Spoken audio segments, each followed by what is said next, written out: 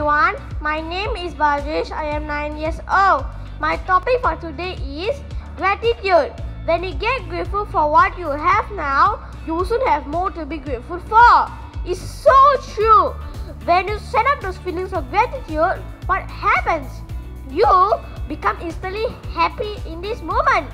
When you're happy and grateful with life as it stands today, so many more things will flow into your life to be happy and grateful for. And the reverse is also true. Feel there's nothing to be grateful for, what are you focused on? You're focused on everything you don't want.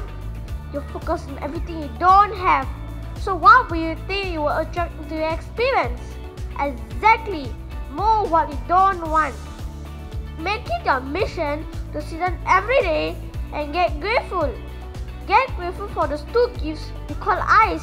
Many others so lucky. Be grateful for those two things you call ears that can hear this music. Be grateful for the person in your life that made a difference. Be grateful that you have the chance to make someone else's life a better place. Be grateful for your tough times because they help you they help you develop your strength and your spirit. Be grateful with your life. There is so much to be grateful for.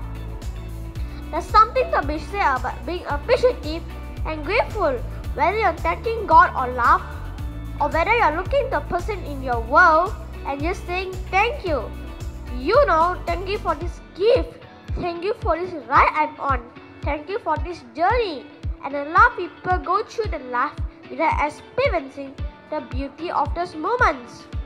Your life, although perhaps filled with many imperfections, is an experience. An experience that people in their final moments would do anything just to grab on for a little while longer.